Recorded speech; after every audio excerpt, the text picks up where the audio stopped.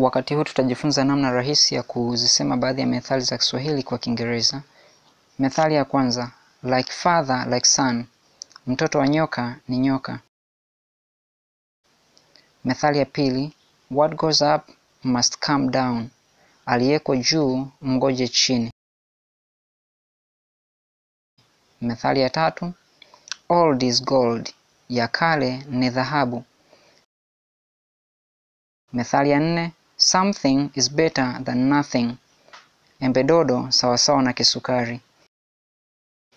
Methali ya tano, after hardship comes relief, baada ya dhiki faraja. Methali ya sita, great haste makes great waste, haraka haraka haina baraka. Methali ya saba, a custom is like a law, kawaida ni kama sheria. Methali ya nane, where there is a will there is a way, penye nia pana njia. Methali ya tisa, there is no smoke without fire, panapofuka moshi pana moto.